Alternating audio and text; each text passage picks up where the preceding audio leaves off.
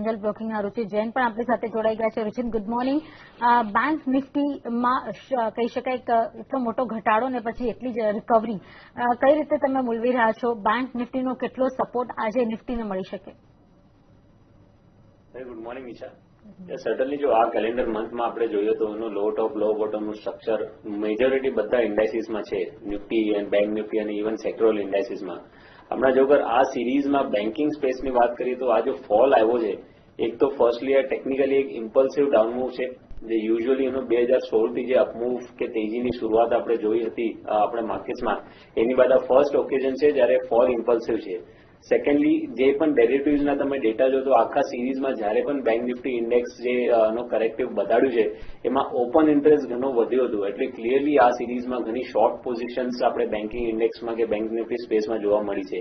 ગઈકાલની trading સેશનમાં ઘણા દિવસો બાદ એક ફૂલબેક મૂવ આપી માર્કેટ્સમાં આપણને જોવા મળી જેમાં બેંક નિફ્ટીમાં ફરીથી દસ ટકાનો ઓપન ઇન્ટરેસ્ટનો ઘટાડો થયો છે. એટલે જ્યારે બેંક નિફ્ટી નીચે જઈ રહી છે, ત્યારે ઓપન ઇન્ટરેસ્ટ વધી રહ્યું છે અને જ્યારે ફૂલબેક મૂવ આવી રહી છે, તો ઓપન ઇન્ટરેસ્ટ ઘટી રહ્યું છે. એટલે આને ફક્ત એક શોર્ટ કવરિંગ મૂવ તરીકે લેવું જોઈએ. એવા કોઈ લોંગ ફોર્મેશન અહીંયા નથી થઈ રહ્યા બેન્કિંગ સ્પેસમાં કે અહીંયા નો બોટમ થઈ જશે. આઈ થિંક આને જસ્ટ એક પુલબેક મૂવ તરીકે લેવું જોઈએ. માર્કેટમાં જો ગઈકાલની ટ્રેડિંગ સેશનમાં જોઈ ઇવન આજની ટ્રેડિંગ સેશનમાં થોડું એક્સટેન્ડ થવું જોઈએ. અને બેંક નિફ્ટી ઇન્ડેક્સ પોસિબલ છે પચીસ હજાર સાતસો વીસથી લઈને છવ્વીસ હજારની રેન્જમાં એકવાર આવી શકે છે. પણ હું ફરીથી કહેશે જસ્ટ એક પુલબેક મૂવ છે. જો અગર કોઈની લોંગ પોઝિશન અટકાવી હોય તો આને એક ઓપોર્ચ્યુનિટી તરીકે લેવું જોઈએ એક્ઝિટ કરવા માટે. તમે જો અગર નિફ્ટી ફ્રન્ટ ઉપર જો, તો ગઈકાલની ટ્રેડિંગ સેશનમાં ઓલધો આપણે અગિયાર હજારના લેવલ્સ બ્રીચ કર્યા ઇનફેક્ટ દસ હજાર નવસોના લેવલ્સ પણ બ્રીચ કર્યા, પણ અગિયાર હજારના પુટ ઓપ્શનમાં સૌથી વધારે ઓપન ઇન્ટરેસ્ટ બિલ્ડઅપ છે. અને દસ હજાર નવસોની નીચે ગયા બાવજૂદ આપણે આ ઓપન ઇન્ટરેસ્ટમાં અનવાઇન્ડિંગ નથી જોઈ. એટલે આ ક્લિયર ઇન્ડિકેશન હતું કે આ સિરીઝમાં એટલીસ્ટ આપણે જે આવતી બે ગઈ આવતીકાલની ટ્રેડિંગ સેશનમાં એક્સપાયરી છે, તો આ સિરીઝમાં આપણે અગિયાર હજારના લેવલ્સ હોલ્ડ કરશો. પોસિબલ છે આપણે અગિયાર હજાર બસો પણ એકવાર ટેસ્ટ કરશો આજે કે આવતીકાલની ટ્રેડિંગ સેશનમાં બટ જસ્ટ એક પુલબેક મૂવ તરીકે લેવું જોઈએ.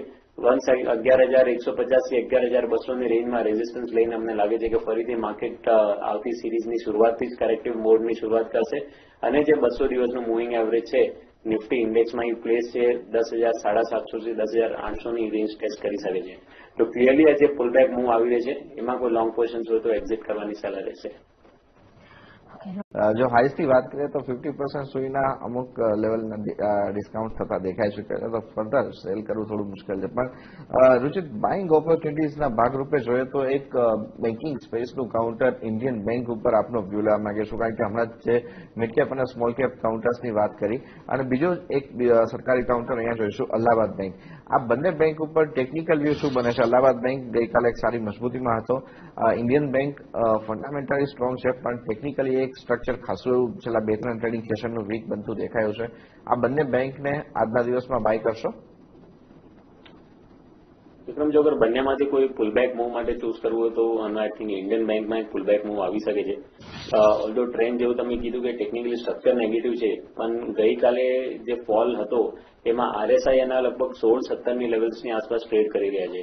જે ઘણા ઓવરસોલ્ડ મોમેન્ટમ રીડિંગ છે. અને ઇવન ગઈકાલનું લો એના વીકલી ચાર્જ ઉપર બસો વીસની મૂવિંગ એવરેજની ઉપર છે. તો પોસિબલ છે કે ફક્ત એકથી બે ટ્રેડિંગ સેશન માટે કે ઇન્ટરનેટ ટ્રેડિંગ માટે કરવું હોય તો ઇન્ડિયન બેંકમાં ડેફિનેટલી એક પુલબેક મૂવ તરીકે આપણે અપમૂવ જોઈ શકે છે જેમાં એ સ્ટોક ફરીથી બસો પચાસ બસો પંચાવનના લેવલ બતાડી શકે છે. અલ્હાબાદ બેંક પહેલા જ આપણે જોયું હતું કે ઓલરેડી આ સ્ટોકમાં વીકનેસ પહેલાથી જ ઘણી વધારે છે.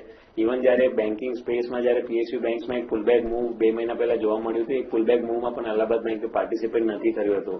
તો જ્યાં ફૂલબેક મૂવ્સમાં પણ સ્ટોક પ્રાઇસમાં સ્પેન નથી આવતી, તો એવા સ્ટોક્સમાં જ સડનલી એનો કોઈ ફૂલબેક માટે ટ્રેડ નહીં લેવું જોઈએ. તો અલ્હાબાદ બેંક મેં અવોઇડ કરવાની સલાહ આપીશ. ફક્ત ઇન્ટ્રાડે માટે જો કોઈ ટ્રેડ લેવું હોય પુલબેક માટે તો ઇન્ડિયન બેંકમાં પણ મને લાગે છે કે અપમૂવ આવી શકે છે. શું વ્યૂ બને? કારણ કે હવે આવતા સપ્તાહે તો આપણે ખાસ કરીને ઓટો વિશાળના આંકડા પણ જોશું. તો આ બધા સ્ટોક્સ પણ એટલા જ ફોકસમાં રહેશે. બિલકુલ નિશા પણ જો અગર આપણે પોઝિશનલી જોઈએ તો એપ્રિલ મહિનામાં કહે કે એક સોળસો પચાસની આસપાસ શ્રીરામ ટ્રાન્સપોર્ટનું ટોપ બન્યું હતું. એના બાદ બજારમાં ઓલ્સો એક પોઝિટિવ મોમેન્ટમ હતી. તમે આપણે ઘણા બધા ઓટો સ્ટોક્સ કે ઓટો એન્સિલરી સ્ટોક્સમાં પણ જોયું એક પોઝિટિવ મૂવ હતી. ઇવન એનો એનબીએફસીઝમાં એક પોઝિટિવ મૂવ હતી. પણ શ્રીરામ ટ્રાન્સપોર્ટમાં પર્ટિક્યુલરલી આ સ્ટોકમાં જોઈએ તો લો ટોપ લો બોટમનું સ્ટ્રક્ચર કન્ટિન્યુઅસ હતું.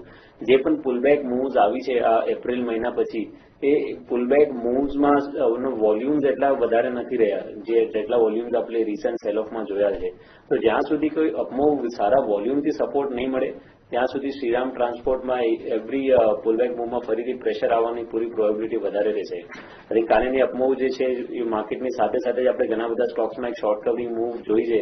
અને શ્રીરામ ટ્રાન્સપોર્ટમાં તો સડનલી ઘણા બધા ઘણી બધી શોર્ટ પોઝિશન્સ ઓપન છે. તો આઈ થિંક જસ્ટ એક શોર્ટ કવરિંગ મૂવ છે. કોઈ ચેન્જ ઓફ ટ્રેન્ડ નથી. તો જસ્ટ એક પુલબેક મૂવ બજારની સાથે સાથે રહી શકે છે. પણ આઈ ડોન્ટ થિંક કે આ પુલબેક મૂવમાં કોઈ ટ્રેડર્સે કે કરંટ લેવલ્સ ઉપર કોઈ પાર્ટિસિપેશન કરવું જોઈએ. તો દેખાઈ રહ્યો છે. અત્યારે એક વખત ફરી આપણા એક્સપર્ટ આપણી સાથે છે, રુચિત અને નીરવ. એમની પાસેથી એક કોલ્ડા માંગીશું યસ બેંક માટે. જો રુચિત અહીંયા આપણને યસ બેંક એક પોઝિટિવ નોટ સાથે શરૂ થતો દેખાય છે, તો શું કહેશો? આજના દિવસ માટે ઇન્ટ્રાડે કોલ શું બને છે? ઉછાળે વેચવાલીનો કે પછી ખરીદી કરીને આગળ જવા માટેનો?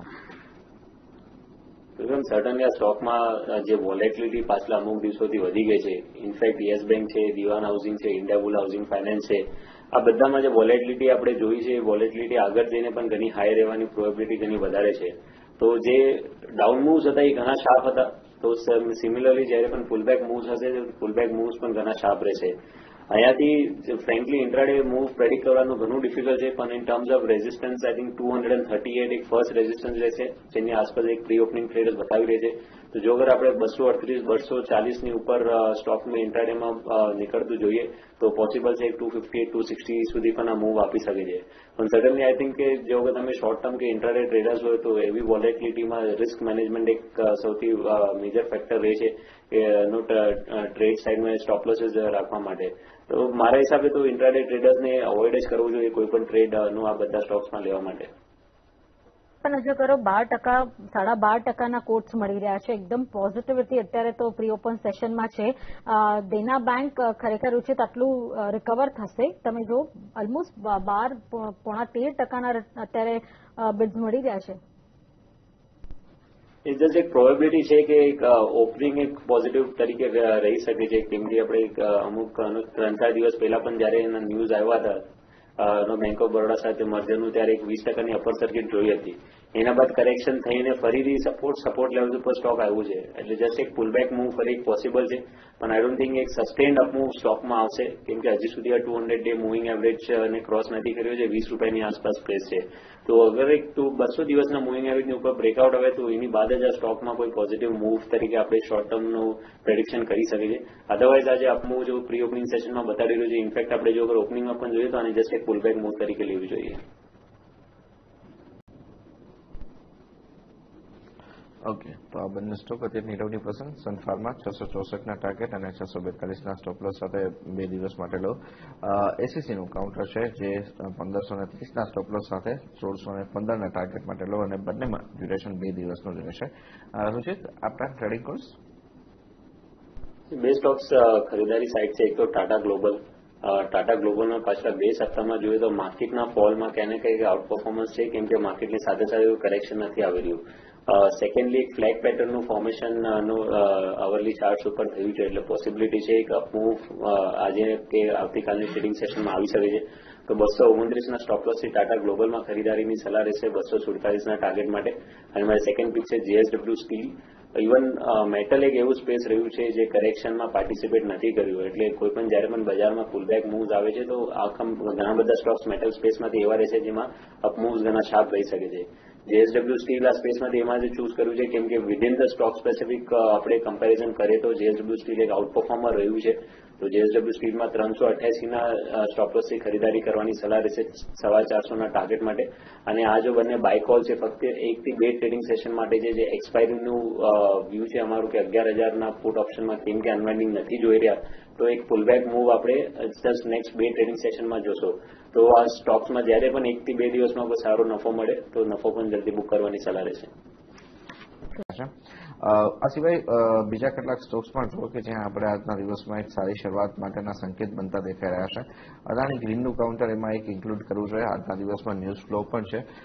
કે સેગમેન્ટનો સ્ટોક છે, રુચિત શું કોલ લેશો? અહીંયા લિસ્ટિંગની હિસ્ટ્રી ઓછી છે, પણ ન્યૂઝ ફ્લો પોઝિટિવ છે તો ટ્રેડ પોઝિટિવ બની શકે છે? વિક્રમ ઘણી લિમિટેડ ડેટા છે કોઈ પણ એનાલિસિસ શોર્ટ ટર્મ માટે કરવા માટે. તો આના ઉપર પોસિબલ નથી કોઈ શોર્ટ ટર્મ ટ્રેડ સેટઅપ આપવાનો. પણ અડાની ગ્રુપના બીજા સ્ટોક્સની વાત કરીએ તો જો પાછલા ત્રણ ચાર ટ્રેડિંગ સેશનમાં સેલ ઓફ આપણે માર્કેટમાં જોયું હતું એમાં ક્યાંક ને ક્યાંક અડાની એન્ટરપ્રાઇઝ અડાની પાવર આ બધા સ્ટોક્સમાં વોલ્યુમ સેલ ઓફમાં ઘણા સારા થયા છે. તો પોસિબલ છે કે આ જસ્ટ એક પુલબેક મૂવ તરીકે રહેશે બધા સ્ટોક્સમાં અને ફરીથી જે નેક્સ્ટ લેગ ઓફ કરેક્શન માર્કેટમાં છે એમાં સ્ટોક્સ ઘટી શકે છે. તો મારા હિસાબે અડાની અડાની ગ્રુપના સ્ટોક્સ છે જો તમે ટ્રેડિંગ પર્સપેક્ટિવથી જુઓ છો તો એટલીસ્ટ ટાઈમિંગ જ્યાં સુધી માર્કેટ્સમાં કોઈ સ્ટેબિલિટી નથી આવી નથી આવી જતી ત્યાં સુધી ખરીદારી સાઈડ નહીં રહેવું જોઈએ. ત્રણ સવાલ. સાથે જ આજના દિવસે રુચિ જુઓ આંધ્રા બેંક અલ્હાબાદ બેંકના કાઉન્ટર ઉપરાંત સિન્ડિકેટ બેંક છે આ બધા ફ્રન્ટ ઉપર એક સેલિંગનું પ્રેશર બનતું જોઈ રહ્યા છે. આપણે સવારના સેશનમાં પણ બધા મિડ જે કાઉન્ટર વાત કરી હતી, પણ પબ્લિક સેક્ટરના મિડ બેંક અત્યારે આપણને જે પ્રેશરમાં દેખાઈ રહ્યા છે, એનું ફેક્ટર શું જોવો છો? વધારે ઘટાડા માટેના જ સંકેતો અહીંથી લેવા જોઈએ. બિલકુલ વિક્રમ જો અગર પીએસયુ બેન્કિંગ સ્પેસને જો આપણે બજારના મુવમેન્ટથી કમ્પેર કરીએ પાછલા છ આઠ મહિનામાં કે એનો પાછલા એક વર્ષમાં તો જ્યારે પણ બજારમાં મૂવ્સ આવ્યો છે પુલબેક મૂવ્સ આવ્યો છે, તો ઘણી બધી જે મિડ સાઇઝ અને સ્મોલ સાઇઝ પીએસયુ બેંક છે એ બધા બેંક્સે ઘણું મોટું અંડર પરફોર્મન્સ બતાડ્યું છે. તો સડનલી જ્યારે બજાર હમણાં કરેક્ટિવ ફેઝમાં છે તો એક્સપેક્ટેશન ઘણી ઓછી રહે છે કે પ્રોબિલિટી ઘણી ઓછી હોય છે કે આ બધા સ્ટોક્સમાં કોઈ સિગ્નિફિકન્ટ અપમૂવ બતાવશે ઘણા બધા ટ્રેડર્સ જે, જેમની લોંગ પોઝિશન લટકાયેલી હોય છે, તો એવરી ફૂલબેક મૂવમાં એમનું સેલિંગ પ્રેશર જોવા મળે છે. અને આઈ થિંક એ જ એક પ્રાઇમ ફેક્ટર છે કે આપણે આ પીએસયુ બેન્કિંગ સ્પેસમાં અંડર પરફોર્મન્સ જોઈ રહ્યા છે. આઈ ડોન્ટ થિંક કે અત્યારે એવા કોઈ સંકેત છે કે અહીંયા બોટમ ફિશિંગ આ બધા મિડ સાઇઝ પીએસયુ બેંક્સમાં કરવી જોઈએ. ત્યાં સુધી બજારમાં કોઈ હજી હજી ડાઉનસાઇડ જે આપણે પહેલા પણ વાત થઈ કે બજારમાં લગભગ હજી ડાઉનસાઇડ બાકી છે, તો એવી કોઈ ડાઉન મૂવ આવે તો સડનલી અંડર પરફોર્મન્સ આ બધા મિડ પીએસયુ બેંક્સ કન્ટિન્યુ રાખી શકે છે.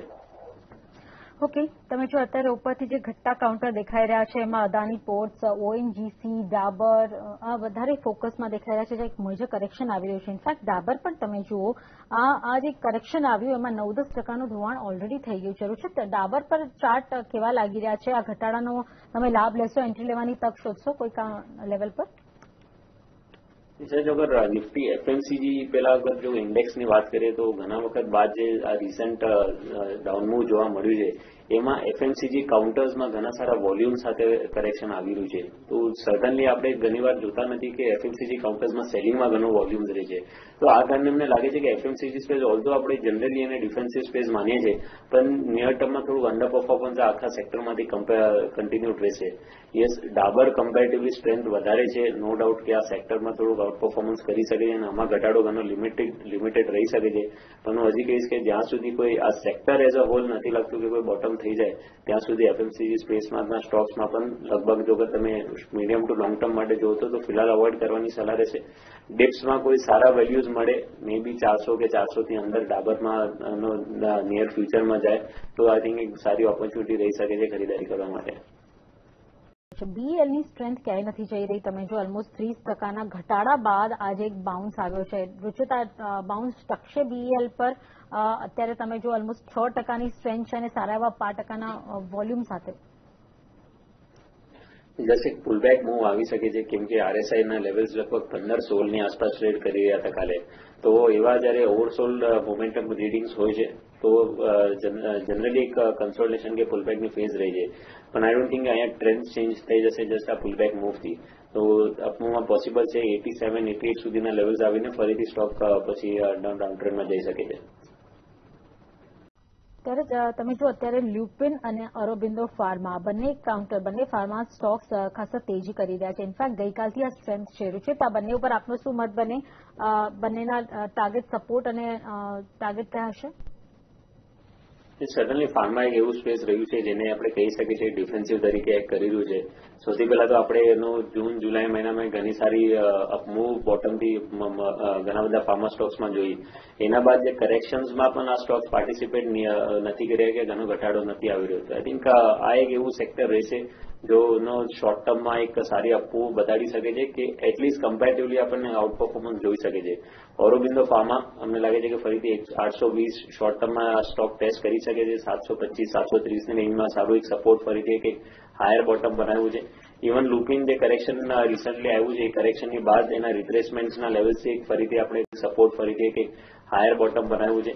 ઇવન લુપિન જે કરેક્શન રિસન્ટલી આવ્યું છે, એ કરેક્શનની બાદ એના રિપ્લેસમેન્ટના લેવલથી ફરીથી આપણે લાસ્ટ બે ટ્રેડિંગ સેશનમાં આપવું બતાડી રહ્યા છે. તો લુપિનમાં પોસિબલ છે નિયર ટર્મમાં નવસો ત્રીસ જેવા ટાર્ગેટ્સ આવી શકે છે. તો સડનલી ફાર્મા એક એવું સ્પેસ છે કે જે શોર્ટ ટર્મ ટ્રેડર્સને કોઈ ખરીદારી સાઈડ રહેવું હોય તો આ સ્પેસમાંથી સ્ટોક્સમાં ખરીદારી કરી શકે છે. જુબલન ફૂડ પર આપનું શું સ્ટ્રેટેજી હશે? તમે જો આજના દિવસે એક સ્ટ્રેન્થ લઈને આગળ વધી રહ્યો છે કેટલી ટકી શકે આ તેજી બિલકુલ પોસિબલ છે તેરસો પચાસ તેરસો સાઠ સુધીના લેવલ્સ આપણે એનો આ એક્સપાયરી પહેલા જોઈ શકે છે કરંટ લેવલ્સ ઉપર કોઈ ટ્રેડ લેવું હોય, તો ફક્ત ઇન્ટ્રાડે કે એકથી બે ટ્રેડિંગ સેશનમાં જે બારસો પાસઠની સ્ટોપલોસ છે ખરીદારીની સલાહ રહેશે. ઉપર સૌથી પહેલા ટાર્ગેટ્સ રહેશે તેરસો અઠ્યાવીસની આસપાસ અને જો તેરસો અઠ્યાવીસના લેવલ્સ ક્રોસ કરે તો તેરસો સાઠ સુધી પણ જઈ શકે. ઘણા બધા સ્ટોક્સની ચર્ચા કરી છે. એમાંથી અમુક સ્ટોક્સ મારા પર્સનલ પોર્ટફોલિયોમાં હોઈ શકે છે અને અમુકની ભલામણ મારા ક્લાયન્ટ્સને બી આપેલી હોઈ શકે છે. આભાર.